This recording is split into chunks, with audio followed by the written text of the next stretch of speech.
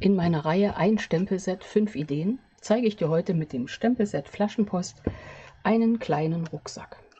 Gefaltet aus einem quadratischen Blatt Papier. Es könnte auch ein kleiner Schulranzen sein. Ja, wie das geht, das zeige ich dir jetzt. Also bleib unbedingt dran.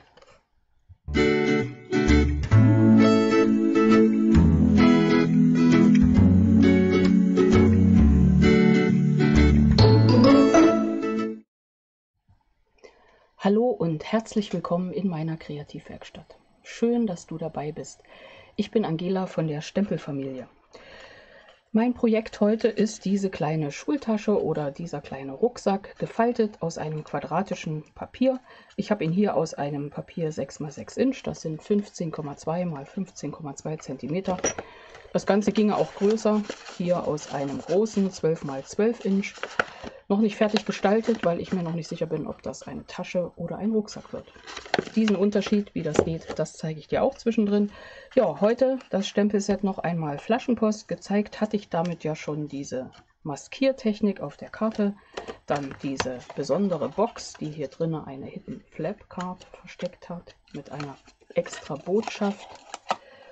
Was hatten wir noch? Wir hatten noch so eine Lichtertüte auch ganz einfach und schnell gestaltet zum Geburtstag. Oder eine Pop-up-Karte. Hier haben wir auch die Flaschenpost. Die Hippos bringen Flaschenpost. Genau. Und jetzt also das fünfte Projekt. Die kleine Verpackung, der Rucksack. Was brauchen wir dazu? Gar nicht viel. Die Gestaltung, siehst du ja, gibt auf verschiedene Weisen.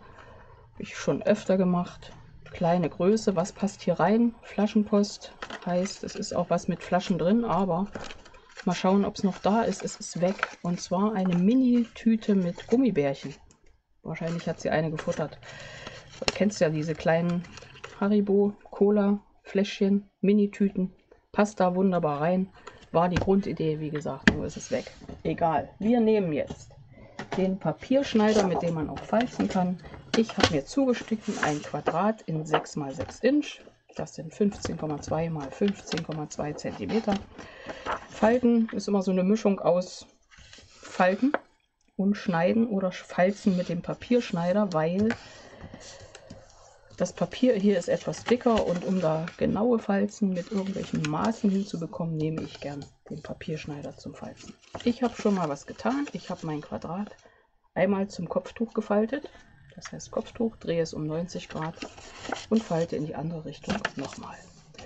Dieses Dreieck nehmen wir jetzt, legen die geschlossene Seite nach rechts ein, Schneideklinge weit weg, Falzklinge ist dran bei einem Inch. Ich bleibe jetzt auch in Inch, ginge auch alles in Zentimetern, müsste ich aber anders berechnen, weil ich rechne das nicht eins zu eins um, sondern versuche dann immer glatte Maße zu finden, damit ich mir nicht so schwierige Zahlen merken muss. Okay, also geschlossene Seite, Spitze hier offen, lege ich ein bei einem Inch und ziehe eine Falzlinie.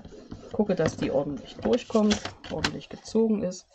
Wenn ich das jetzt auf meinem Papier ganz exakt haben wollte, würde ich das mal nach links und rechts falten. Genau, weil wenn ich das beides hier lang falte, ist schon wieder ein Viertelmillimeter Verschiebung drin, also falte ich das mal so.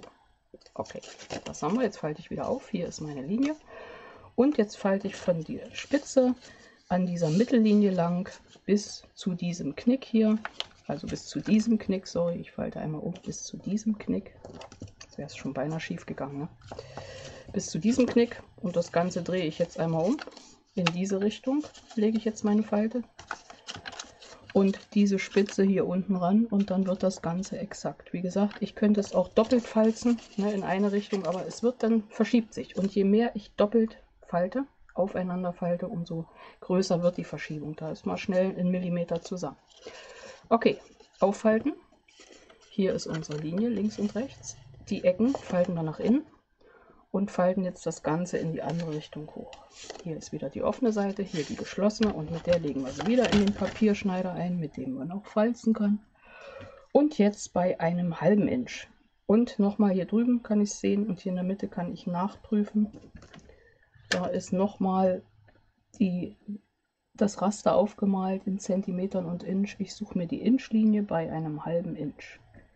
Halte das schön fest, halte hier drüben die Spitze, falte runter, nehme mir meine Falzlinie, schaue, dass sie ordentlich da ist und könnte wieder einzeln oder doppelt falzen.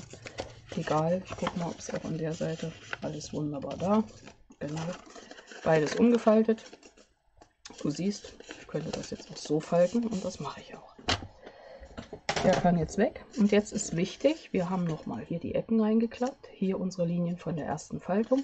Hier unten der Steg bei einem halben Inch. Den falte ich jetzt hoch, halte ihn oben fest und gehe an diese Spitzen hier. Hier.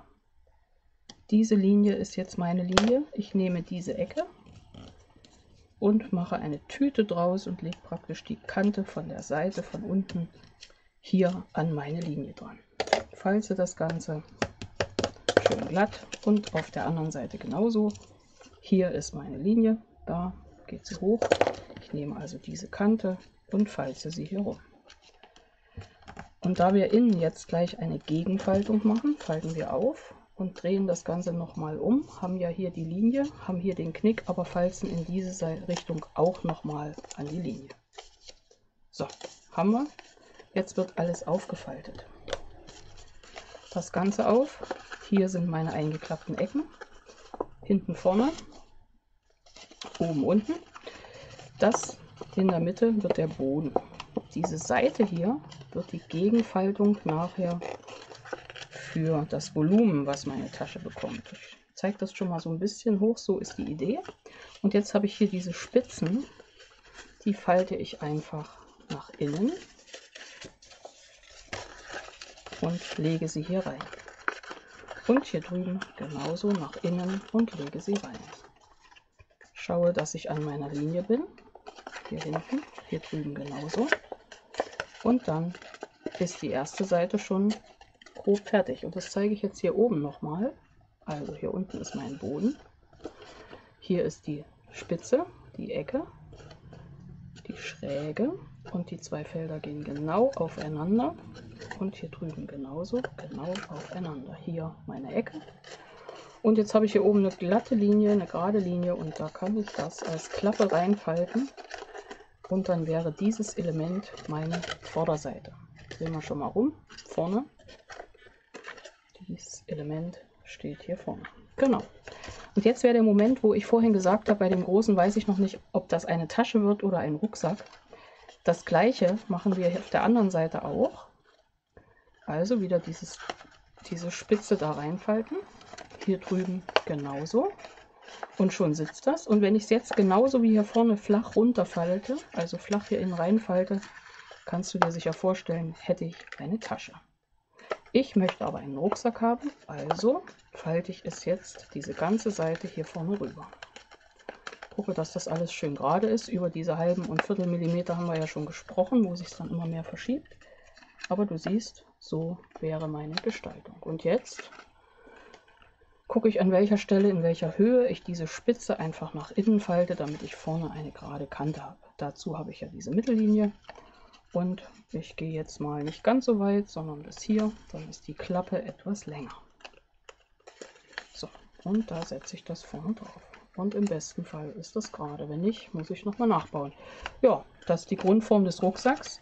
Und jetzt kann ich mir überlegen, ob ich klebe oder ob ich es so lasse, wie es, ist. Wenn ich klebe, dann klebe ich diese beiden Felder hier hinten an und diese Klappe hier komplett zu. Und dann hält das Ganze gut in Form.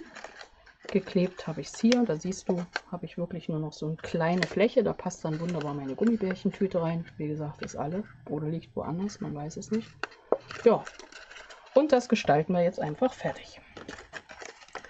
Klebe diesen mal nicht, ich lasse den so. Ich gestalte das jetzt hier vorne. Ich nehme mir ein Stück Farbkarton in Grundweiß und mein Stempelset mit der Flaschenpost.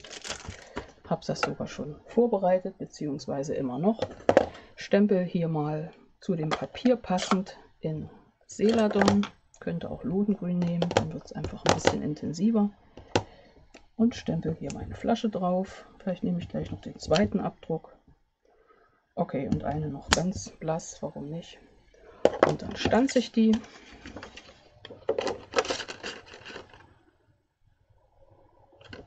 Nummer 1, Nummer 2 und ich würde einfach Nummer 1 und Nummer 2 jetzt aufeinander kleben und fertig ist das. Schon wieder Stempelfarbe am Finger. Hast gesehen, ich gucke das Stempelkissen an und überlege, ob ich Farbe dran kriege und schon habe ich sie dran. Ja, ich klebe die einfach aufeinander. Dann ist das Ganze vorne etwas fester. Das ist jetzt so der Grundplan. Und dann nehme ich meine Abstandsklebepunkte, die großen, habe ich hier liegen. Und setze unten drei Stück drauf, relativ weit unten, weil das wird mein Riegel für die Klappe. Du könntest natürlich auch einen Magneten anbringen oder ein Bändchen, warum nicht, ne? Schultasche, ein Riegel, ein Klett, was du eben hast. So, und das klebe ich unten drauf. Schön mittig und gerade, das ist immer mein Lieblingsthema, mittig und gerade. Genau, und dann habe ich die Klappe oben dahinter fest fixiert. Jetzt habe ich aus Alphabest, dem Stempelset bzw. Produktpaket, noch so ein Element äh, gestempelt, wo ich aber sehe, so ein Rahmen, der funktioniert gar nicht. Der ist zu groß, habe ich letztens, äh, zu klein. Also nehme ich jetzt den Stempel so. Alles Liebe aus der Flaschenpost und verwende von Alpha West die Handstanze für das kleine Schild. Und das setze ich jetzt vorne drauf. Auch da können wir natürlich noch mal einen Abstandsklebepunkt nehmen, warum nicht? Hier ist nochmal aufgesprungen, musste also gut knicken und oben schön ranfalten, aber das hält dann. Vertrau mir. Das läuft dann. So, meine Rucksäcke sie liegen ja hier schon eine Weile. Das funktioniert schon. Hier alles Liebe, damit haben wir die Größe schon mal untergebracht auf unserem kleinen Rucksack. Und dann habe ich aus dem Produktpaket Herzenspost, könntest du aber genauso einfach einen Streifen aus Farbkarton schneiden von einem Zentimeter. Ich habe mal, weil sie da lagen, die Stanzformen hier, diese beiden Schriftstreifen, nennen wir sie mal so, gleich für meine Gurte verwendet. Dadurch haben die so eine leichte Prägung. Ich ziehe die jetzt über mein Falzbein, die beiden langen. Und unten an einer Seite in die andere Richtung das kleine Ende. Dann nehmen wir dieses hier. Dann nehme ich dir die Blue Dots, die Mini-Klebepunkte und setze die mal hier unten auf den kleinen Schnipsel. Und damit hat den Vorteil, dass ich das ein bisschen dann drehen und biegen kann. Die setze ich einfach hier unten an die Ecken. Na, wo haben wir? Bisschen schräg. Und dann kann ich oben meinen Gurt auch schräg fixieren. Und da setze ich jetzt auf diese Seite die nächsten Klebepunkte. Nummer 1 ist der zweite Gurt. Nummer 2. So, sitzen da gut. Verpacken wir wieder stören sie nicht. Nehmen uns gleich das doppelseitige Abreißklebeband und jetzt hier eine Schlinge legen, also so rum, Mittellinie haben wir ja. Da setze ich den einen schräg an und den anderen so ein bisschen schräg daneben. Kann noch ein bisschen schieben, das ist eben der Vorteil der Punkte. Und dieses kleinere Stück nehme ich auf die Rückseite, so in der Breite etwa von meinem kleinen Ranzen, von meinem Mini-Rucksack, klebe ich mir dann ein Stück auf, links und rechts müsst ihr das bleibt was übrig, ist ja breiter, schneide ich gleich ab. So, klebe ich hier gerade drauf, nehme meine Schere und wie gesagt, schneide ich ab. Jetzt wäre der Moment, dass wir sagen, wir sind fertig oder noch nicht. Wir sind noch nicht fertig. Ich setze da noch so ein bisschen, in dem Fall in Gold, solche kleinen Metallic-Perlen drauf, je nachdem, was du hast an Bling Bling. Ja, hier drüben tue ich mal so, als ob da noch vielleicht eine Lasche drunter wäre. Also gefakte Schnallen. Und hier unten sind natürlich auch genietet bestimmt meine Nieten drauf. Ja, da oben setze ich vielleicht nichts hin, weil nicht, dass es den Träger des Rucksacks am Rücken stört. Ne? Muss ja ein bisschen praktikabel noch sein, das Ganze. Ja, und fertig ist mein Mini-Rucksack. Ja, Nummer 1. Nummer 2. Jetzt habe ich schon eine Galerie. Das liegt daran, dass ich das Video schon mal gedreht hatte. Hast du vielleicht gemerkt und der Ton war nicht da, deswegen gab es das gar nicht. Deswegen komme ich heute ein bisschen später mit meinem Video, aber die Idee ist ja das Ding. Das Ganze als Schulranzen. Vielleicht sind noch Schulanfänger unterwegs für, die, für den ersten Schultag. Auf dem Weg zum ersten Schultag. Ja, Rucksack zum Wandern. 1000 Ideen, wo man, wann man Rucksäcke verschenken kann. Ein Stempelset, fünf Ideen. Damit wäre das Stempelset Flaschenpost abgeschlossen. Vielleicht gibt es noch eine Zugabe. Gab es ja letztens auch schon mal. Hier hätte ich noch so eine Schüttelkarte. Wäre noch eine Idee. Mal schauen. Okay, ich hoffe, dir hat meine Anleitung gefallen. Gib mir gern einen Daumen hoch, abonniere meinen Kanal, wenn du das noch, gemacht, noch nicht gemacht hast. Dann verpasst du keine meiner weiteren Ideen. Alle verwendeten Materialien kannst du natürlich direkt über mich kaufen in meinem Online-Shop oder du schreibst mir eine Mail. Hier geht es weiter mit noch mehr Anleitungen und Tipps, also bleib dran. Ich freue mich auf dich in einem meiner nächsten Videos. Bis dahin, deine Angela von der Stempelfamilie.